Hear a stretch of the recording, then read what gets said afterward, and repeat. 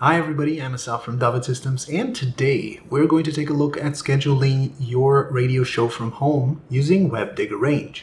Let's check it out.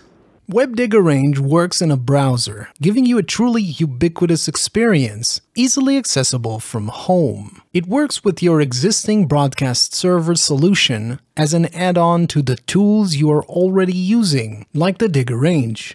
Let's see how it works. In the upper tab, you can select your overview, seeing the weekly plan or daily plan. You can access your scheduling in the button to the left or selecting a show in the overview. Accessing a show allows you to simply drag elements to interact with the rundown. To the right is an embedding of Mini Content Manager, allowing you to simply access your database and drag and drop new elements to your show.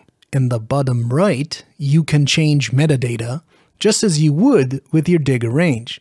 You can also pre-listen to your content, check out music data, or set your intro or outro marker trimming the start or end points of your audio.